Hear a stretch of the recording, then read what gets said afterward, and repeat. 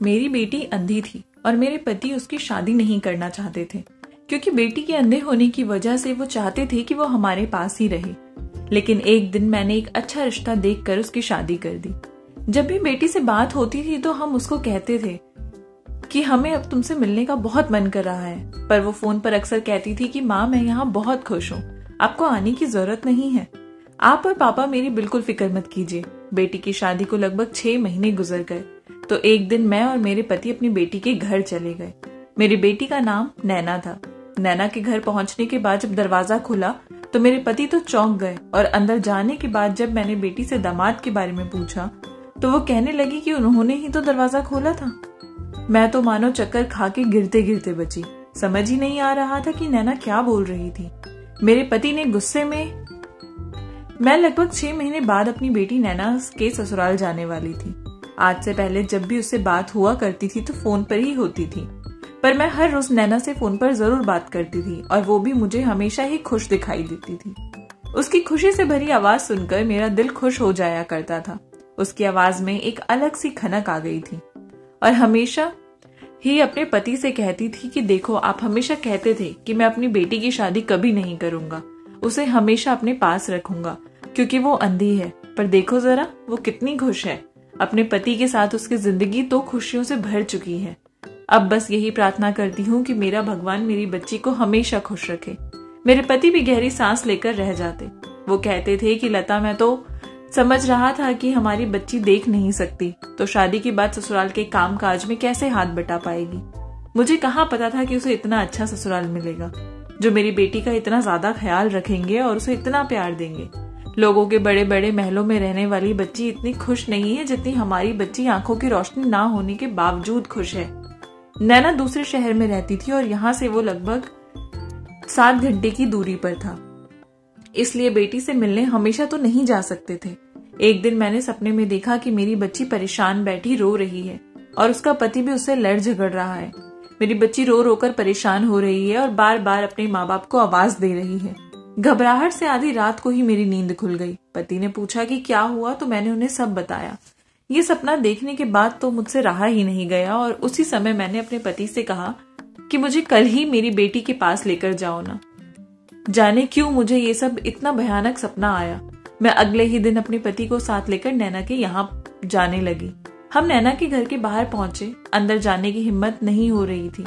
बाहर खड़े ही सोच रहे थे कि बिना बताए आ गए हैं। पता नहीं नैना के ससुराल वाले क्या कहेंगे। पर मैं भी क्या करूँ? मेरा मन मान ही नहीं रहा था। हिम्मत कर दरवाज़ा खटखटाया तो दरवाज़ा एक अधेड़ उम्र के इंसान ने खोला था जो कि मेरी बेटी नैना का ससुर था। जैसे ही उसने दरवाज़ा खोला तो हमारे चेहरे पर मुस्कुराहट थी, थी। पर ना जाने क्यों नैना के ससुर के चेहरे पर जरा सी भी मुस्कुराहट नहीं थी। हमें वहाँ खड़े देखकर उनके चेहरे पर अजीब सी परेशानी आ गई थी जैसे उनको हमारा यहाँ आना बिल्कुल भी पसंद ना आया हो। मैंने एक नज़र नैना के ससुर को देखा, उसके चेहरे की हवाइयाँ पूरी तरह से उड़ चुकी थी। हमारे दिल में खतरे की घंटियाँ बजने लगी। हम अपनी बेटी से मिलने के लिए घर के अंदर दाखिल हुए। जैसे ही घर में दाखिल हुए तो हमारी बेटी नैना अपने कमरे में बैठी थी, जिसके पास कई तरह के फल काट कर रखे हुए थे। और वो बिल्कुल महारानियों की तरह एसी वाले कमरे में बैठी हुई फल खा रही थी। हमारे कदमों की आहट तो नैना बचपन से ही पहचान लेती थी। जैसे ही माँ बाप के कदमों की आहट उसके कानों तक पहुँची, वो चहकने लगी। फटाफट उठ खड़ी हुई और कहने लगी, माँ, पापा, क्या आप दोनों आए हैं? इतना कहकर वो आगे बढ़ी और हम दोनों ने अपनी बच्ची को अपने सीने से लगा लिया। मैं तो अपनी बच्ची नैना से लिपट कर रोने लगी, उसे चूमने लगी। हमने जैसा सोचा था, वैसा कुछ भी नहीं था। मैं तो बिना मतलब ही इतना घबरा रही थी। उसी समय नैना के ससुर भी वहीं कमरे में आ गए और कहने लगे, आप लोग आराम से बैठिए, मैं आपके लिए ठंडा पानी मंगवाता हूँ। हम अपनी बेटी के पास बैठे ही थे कि मैंने नैना से कहा कि बेटा, दामाद जी कहाँ है? वो कहीं दिखाई नहीं दे रहे। ये सुनकर नैना कहने लगी, माँ, ये क्या कह रही हो? मेरे पति तो यही हैं। नैना के हाथ एक तरफ़ इशारा कर रहे थे।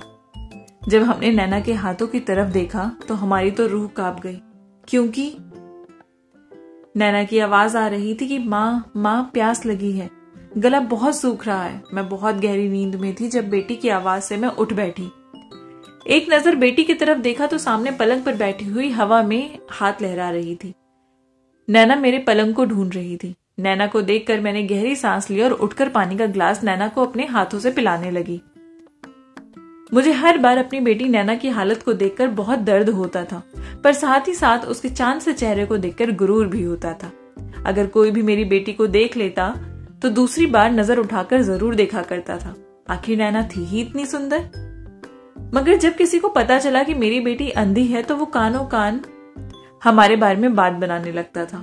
लोग कानाफूसी करते थे कि यकीनन ये माँ बाप के किसी बड़े पाप की सजा होगी, जो इतनी सुंदर बच्ची पैदा हुई और वो भी अंधी।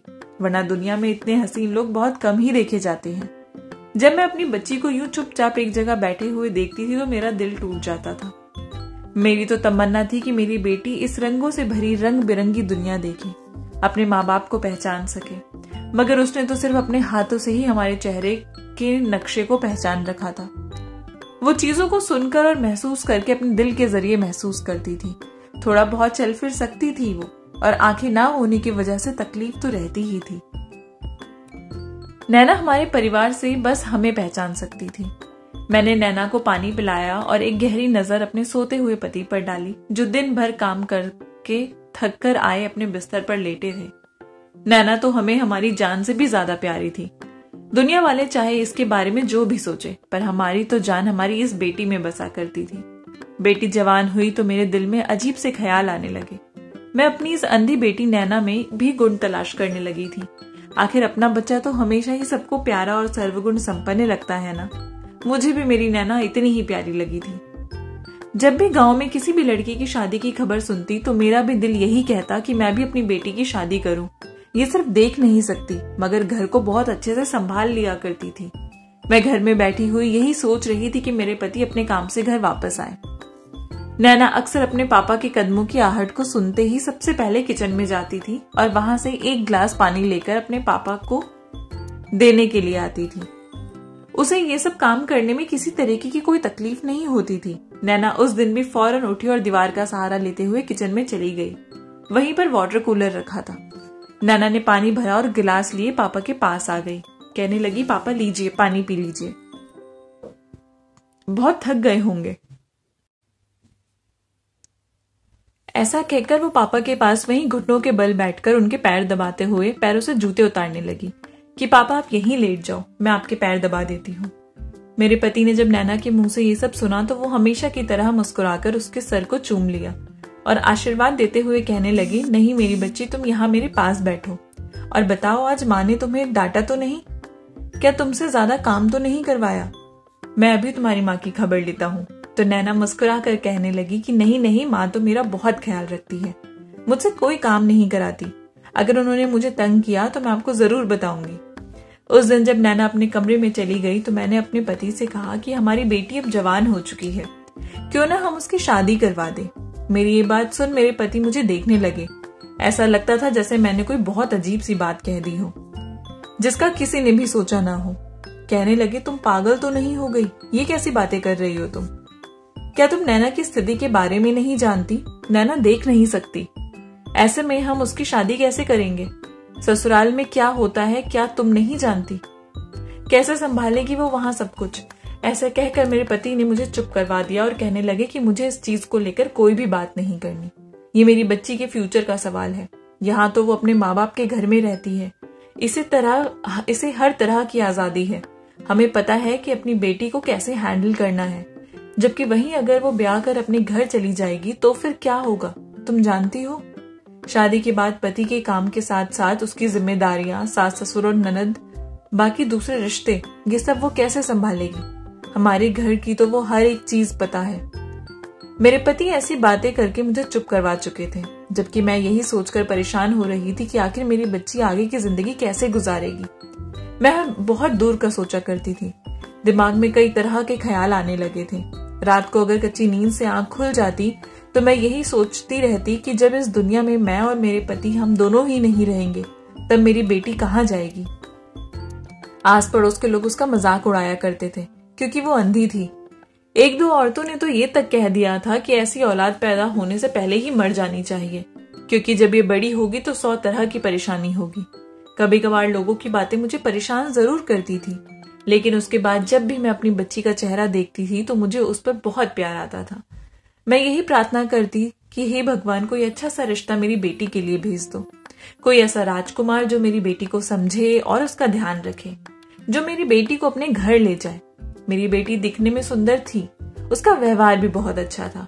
अगर घर का अंदाज़ा नैना को हो जाता तो वो हर काम बड़े ही अच्छे तरीके से कर लिया करती थी। एक दिन रिश्ते वाली हमारे घर आई और कहने लगी कि मेरे पास एक बहुत अच्छा रिश्ता है, जो तुम्हारी बेटी को समझेगा। उसे बस एक सुंदर और सुशील लड़की चाहिए। तुम्हारी बेटी जवान है और खूबसूरत भी। क्या मैं तुम्हारी बेटी का रिश्ता उनसे करवा दूँ? मैं तो घर में बैठी अपने घर का काम कर रही थी। अचानक से रिश्ते वाली की बात सुनकर हैरत में पड़ गई। मैंने छूटते ही उससे कहा कि आपका दिमाग तो ठीक है। आपको पता नहीं मेरी बेटी अंधी है। उसे कुछ भी दिखाई नहीं देता। हम उसकी शादी नहीं करना चाहते। तो रिश्ते वाली कहने लगी कि ये सब कुछ मैं पहले से जानती हूँ। और मैंने उनको भी बताया है। वो लोग कह रहे हैं कि उन्हें इस बात से कोई परेशानी नहीं है। वो खाते पीते घर का लड़का है और इकलौता भी है। तुम्हारी बेटी को खुश रखेगा। मैंने जब उन लड़के वालों की तारीफ़ सुनी तो खुश हो गई और दिल में एक बार फिर ये उम्मीद जागने लगी कि मैं अपनी बच्ची की शादी इसी घर में करवा दूँ। उन्हें मेरी बेटी के अंधेपन से कोई परेशानी नहीं थी। वो लोग अमीर थे और उनके घर नौकर भी थे। मेरी बेटी के व्यवहार और अच्छे आचरण की वजह से इसे अपनाना चाहते थे। मगर एक बात समझ नहीं आई थी कि इन लोगों को मेरी बेटी का पता कैसे चला था। जैसे ही रात हुई तो मैंने ये बात अपने पति से की। मेरी बात को सुनकर मेरे पति नाराज़ हो गए और वो कहने लगे कि क्यों अपनी नैना की ज़िंदगी नर्क बनाना चाहती हो? मैं बिल्कुल उसकी शादी किसी से नहीं कराना चाहता। ये सुनकर तो मैं भी परेशान हो चुकी थी। पति को बहुत समझाया मगर वो नहीं माने। अगले ही दिन मेरे कहने पर लड़के वाले हमारे घर आए। उस समय मेरे पति घर पर ही थे। वो लोग बड़े ही अच्छे व्यवहार के थे। उन्होंने जब मेरी बेटी को देखा तो मेरी बेटी को सीने से लगा लिया और कहने लगे, ये तो बस अब हमारी ही बहू बनेगी।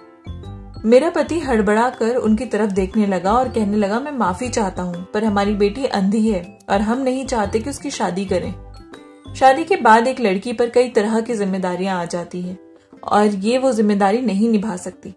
वो लोग कहने लगे कि, ये सब कुछ आप हम पर छोड़ दें। वो पहली बार हमारे घर में आए तो कई फल और शगुन की थाल लेकर आए थे। उन्होंने नैना के हाथ में बीस हज़ार शगुन भी रखा था। कुछ दिन बाद फिर आए तो एक बार फिर मेरी बेटी के लिए बहुत सारे उपहार लेकर आए। ये सब कुछ देखकर मैं और पति पिघलते जा रहे थे। अब हमें यकीन सा होने लगा था कि हमारी बेटी उस घर में खुश रहेगी। वो लोग हमारी बेटी से सचमुच दिलचस्पी रखते थे।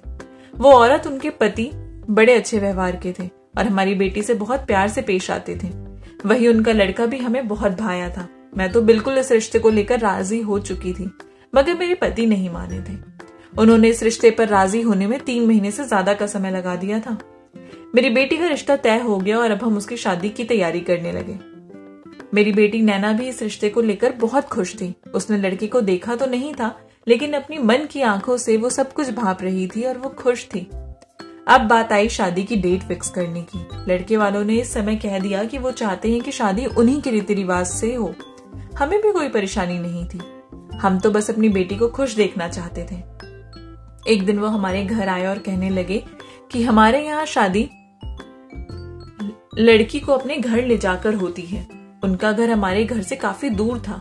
अब क्योंकि ये सफ़र भी लंबा था, चार घंटे बाद ही हम वहाँ पहुँचते।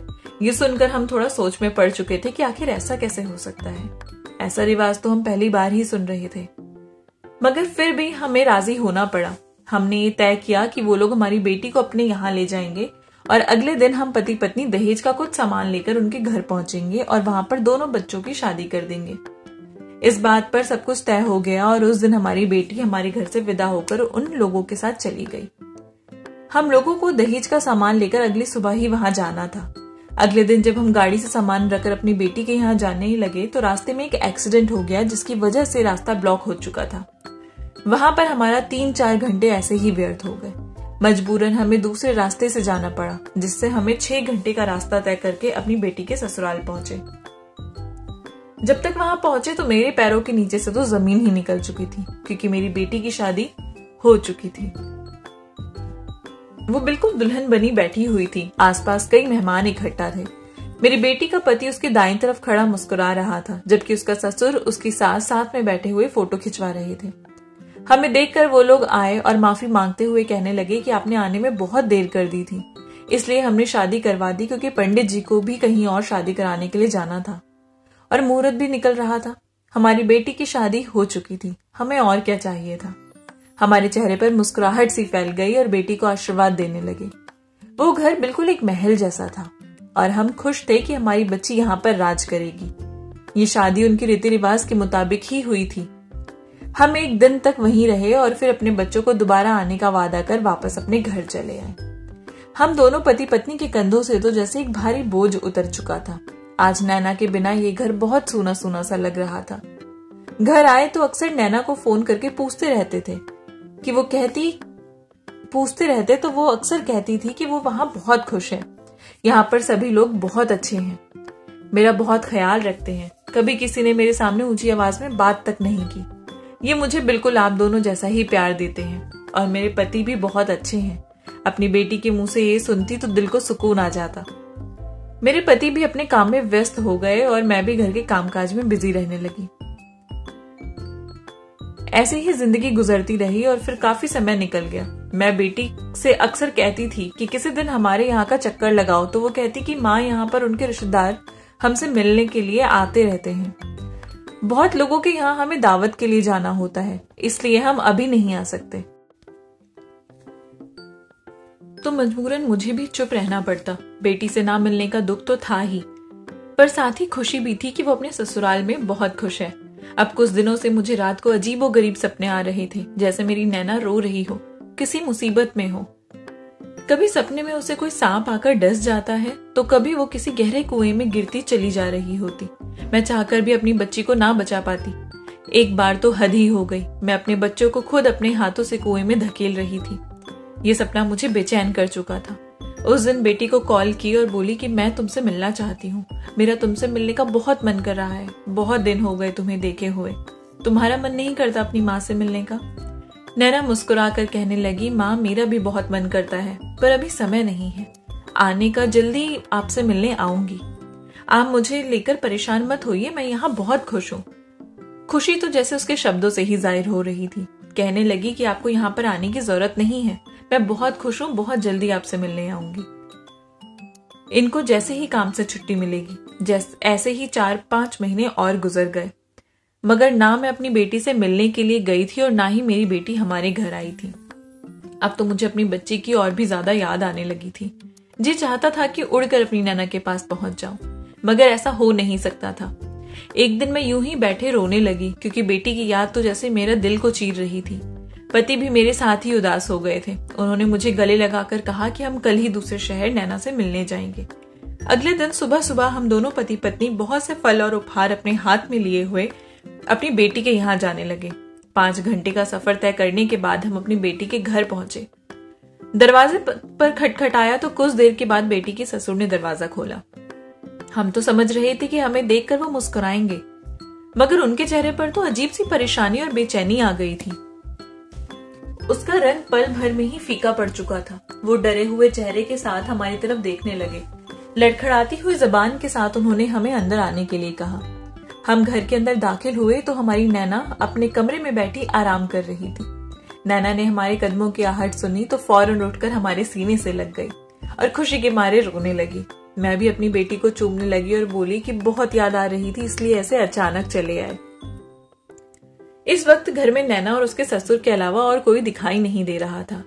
हम वहाँ पर कुछ देर बैठे और फिर नैना से पूछने लगे उसके हाल चाल के बारे में। वो तो वाकई बहुत खुश लग रही थी। ये देखकर हम दोनों के ही दिल को सुकून मिल गया। नैना के ससुर वहीं कमरे में बैठे थे। हमें बैठे हुए काफ़ी देर हो गई तो मैंने नैना से कहा कि दामाद जी कहाँ हैं? अभी तक घर नहीं आए? तो बेटी कहने लगी, क्या बात कर रही हो माँ? मेरे पति तो यहीं सामने बैठे हैं, जो आपसे बात कर रहे हैं। मेरे तो सर पर जैसे पहाड़ टूट गया कि नैना ये सब क्या बोल रही थी? क्योंकि सामने तो बेटी के ससुर जी बैठे थे। मैंने नैना से कहा कि ये क्या कह रही हो नैना? तुम्हारा पति तो यहाँ कहीं नहीं है। ये तो तुम्हारे ससुर हैं। मेरी बेटी फ़ौरन उठ खड़ी हुई। कहने लगी कि नहीं माँ, मैं तो ये अपने पति के साथ इस घर में अकेली ही रहती हूँ। मेरे पति गुस्से में उठ खड़े हुए। नैना के ससुर को कहने लगी कि क्या कह रही है? आपका बेटा कहाँ है? हम तीनों ही हैरत में थे। कुछ समझ नहीं आ रहा था कि तभी वो इंसान जिसकी उम्र पचास से बावन साल के आसपास की थी, गला साफ़ करते हुए झिझक के साथ कहने लगा कि आपकी बेटी नैना मेरी ही पत्नी है। ये बात तो हम पर जैसे मानो पहाड़ बनकर टूटी थी। मेरे पति बहुत गुस्से में आगे बढ़े और उस इंसान का कॉलर पकड़कर कहने लगे कि ये क्या बकवास कर रहे हो? मेरी बेटी के साथ इतने समय से तुम अकेले रह रहे हो। बताओ तुम्हारा इरादा क्या है? नैना के ससुर जी जाते हुए कहने लगे कि आप एक बार मेरी पूरी बात सुन लीजिए। आगे वो कहने लगा कि नहीं, ऐसा नहीं है। दरअसल मैं अपना घर बसाना चाहता था। ये धन दौलत मेरे पास बहुत थी, मगर मैं अभी तक कुवारा था। मैंने अपने भाई, सभी भाई बहन की शादी अच्छी घरों में कर दी थी। वो सभी दूसरे देश में जाकर बस गए। जब मैंने शादी के बारे में सोचा तो कोई भी मुझसे शादी करने को तैयार नहीं था, क्योंकि मेरी उम्र हो चुकी थी। इसलिए रिश्ते वाली से कहा कि जैसे भी करके मेरी शादी करवाओ। उसने मुझे आपकी बेटी के बारे में बताया तो मैं शादी के लिए तैयार हो गया। मैंने नैना को देखा था। वो बहुत ही प्यारी लगी थी मुझे। पर मैं साथ ही साथ ये भी जानता था कि आप अपनी बेटी की शादी मुझसे, एक इतनी उम्र के आदमी से कभी नहीं करवाएँगे। इसलिए ये सारा प्लान मैंने बनाया और फिर शादी कर ली। यही एक वजह थी कि शादी वाले दिन भी आप दोनों के आने से पहले ही मैंने नैना से शादी कर ली थी। ताकि आप लोगों को पता ना चल सके कि आपकी बेटी की शादी किससे हुई है। ये खबर हम तीनों पर बिजली से बनकर टूटी थी। मेरे पति तो गुस्से से इस इंसान को मारने लगे। नैना भी बहुत रो रही थी। हमने उसी समय अपनी बच्ची को साथ लिया और घर वापस आ गए। आज मुझे अपने ऊपर बहुत शर्म आ रही थी। मैंने ये क्या कर दिया था अपनी बच्ची के साथ? नैना के पापा तो चाहते ही नहीं थे कि हम उसकी शादी करें, लेकिन मैंने ही कुछ ज़्यादा सोच लिया था। और अपने हाथों अपनी नैना की ज़िंदगी बर्बाद कर दी। आप में से वो लोग जो एक माँ है, वो शायद इस बात को समझ पा रहे होंगे कि मेरी सोच गलत नहीं थी। मैं भी तो अपनी बच्ची की अच्छाई के बारे में ही सोच रही थी कि जब हम दोनों नहीं रहेंगे, तब उसका क्या होगा? पर ना जाने ये क्या हो गया। इसके बाद नैना का पति कई बार हमारे घर आया और माफ़ी मांगने लगा। उसने नैना से कहा कि, नैना, तुम बताओ, क्या मैंने एक बार भी तुम्हारे साथ ऊँची आवाज़ में बात की? क्या तुम पर हाथ उठाया? तुम्हें तो मैंने अपने हाथ का छल्ला बनाकर रखा था। तुम्हारी हर ख्वाहिश पूरी करने की कोशिश की थी। तुम्हें एहसास ही ना होने दिया कि वो घर तुम्हारा नहीं है। नैना भी दिल ही दिल अपने पति को पसंद करने लगी थी। एक दिन नैना मुझसे कहने लगी कि, माँ, मैंने तो ना इनका चेहरा देख रखा है और ना ही इनका शरीर। मैं तो बस व्यवहार और उनका मेरे साथ प्यार को देखकर इनसे प्यार करने लगी हूँ। हमने जब देखा कि हमारी बेटी भी उस इंसान के साथ खुश है और वो भी हमारी बेटी का ख्याल रखता है तो मजबूरन हमने अपनी बेटी को उस इंसान के साथ विदा कर दिया। उस इंसान की मोहब्बत में कोई कमी नहीं थी। वो हमारी बेटी को अपने घर की इज़्ज़त बनाकर रखने लगा। उसके बाद मेरी बेटी ने खूबसूरत से बच्चे को जन्म दिया। उनकी ज़िंदगी में खुशियाँ थी, वो अपने पति के साथ बहुत खुश थी। फिर हम कौन होते हैं नैना को अपने पति से अलग करने वाले? हम भी उसकी खुशियों में ही खुश हो गए। हाँ मगर शादी जैसा पवित्र रिश्ता झूठ और धोखे की बुनियाद पर नहीं रखा जाना चाहिए। आज हमारी बेटी बहुत खुश है और उसकी खुशी ही हमारा जीवन है। आई होप आपको ये कहानी पसंद आई होगी। अगर अच्छी लगी है तो चैनल को प्लीज़ सब्सक्राइब कर दीजिए लाइक कर दीजिए और अपने प्यारे से कमेंट नीचे ड्रॉप कर दीजिए। मिलूँगी आपसे नई कहानी के साथ। तब तक के लिए बाय